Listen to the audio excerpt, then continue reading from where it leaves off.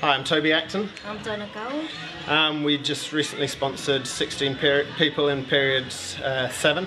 Um, we were going through about 150 leads a week to do that, and they came from all different sorts of sources from uh, newspaper advertising, internet, cards, flyers. Um, two of our customers joined, so all sorts of different people coming in.